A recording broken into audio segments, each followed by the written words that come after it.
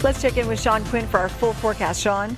All right, let's go ahead and look at temperatures today across the board. 60s for the most part. We got a little bit cooler than what we saw on Saturday, and that's because we had a little extra moisture at the lower and mid levels as uh, those cloud the cloud cover is starting to thicken up um, ahead of some very weak storm systems that are approaching the region. So currently 50s really a uniform atmosphere. Whenever you don't have these big swings in temperatures, you know that uh, we're seeing pretty much the same thing from north to south and all uh, from the beaches to the inland areas.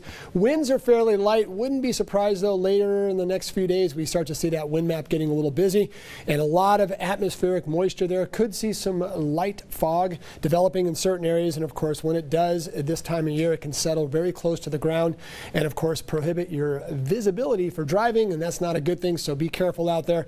The ridge continues to hold over much of southern and central California, and another storm system yet again is slamming into the Pacific Northwest, and as it does, it brings in much more needed rainfall. Of course, Northern California under extreme drought conditions, uh, we're getting there. Now, luckily last week we did some damage with that really nice storm that ran through and made it into Southern California.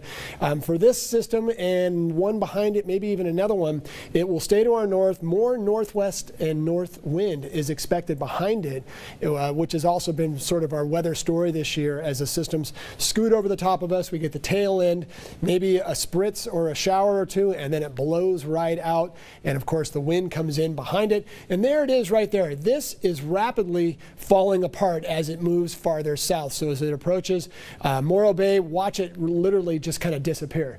And so could we see a sprinkle or two behind that? Maybe another one shows up by Wednesday, Thursday, but it looks like that one stays well out of the area as well. So we'll go ahead and look at the future rainfall totals. And the computer yesterday was spitting out numbers like 0.02. Today, look at this, it really dropping off. Now this could change again.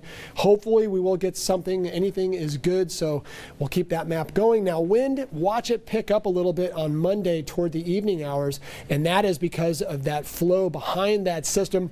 Uh, they're dry fronts, basically. Uh, differences between air pressures will still be there even though we don't get the rain and that means that flush comes in behind it. So uh, also temperatures will not be overly warm, although the south coast might do a little better because the wind will go over the mountains and you'll get a little bit of compressional heating, that little offshore effect, but everybody else will probably be a degree or two below where you should be for this time of year.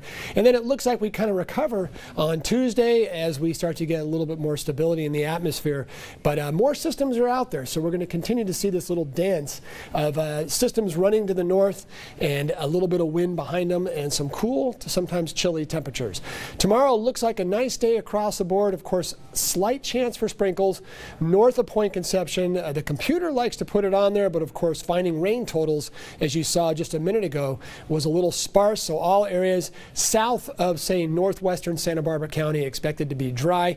Now comes the fun part. Boy, waves. We are going to be looking at some surf the next couple of days. Your water is on the chilly side. High tide, luckily, is not too strong. High surf advisory for all of the central coast down through, I should say, south coast down through Ventura County. And then here is a map that I have not used in quite a while. Watch this. We'll see if we can get this one to kick in. Uh, right there. I don't remember the last time we had a high surf warning, and this means waves could go up above 20 feet plus on some of the most exposed beaches. And this would be from about Tuesday through uh, about mid, maybe late Wednesday. We're looking at this little period where the waves could really be dramatic in that part of the world. Of course, be careful if you're going to go watch. Stay way up off the beach as it could be a little bit dicey as you get closer to the, uh, the water's edge. And there's your Santa Barbara forecast. Again, keeping it dry right through the period. Temperatures not wavering much in any direction.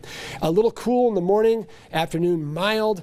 Uh, one more time, keeping it dry though, unfortunately. Well, I was hoping we'd see maybe a break uh, and get a little bit more of that action. About a week ago, we were really excited that we thought this would be a busy week for rain. And then rapidly over the last few days, it slowly has evaporated across the board. Santa Maria, there it is, cloudy and cool. Slight chance for rain both Monday going into very early Tuesday.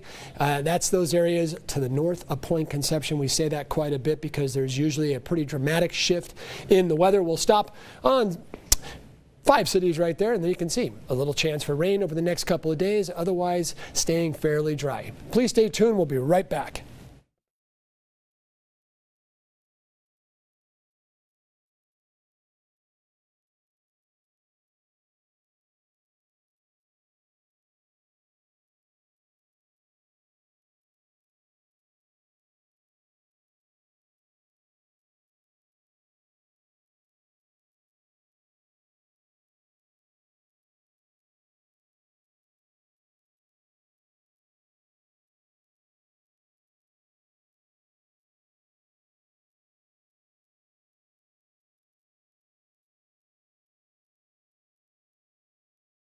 Mic check, one, two, mic check.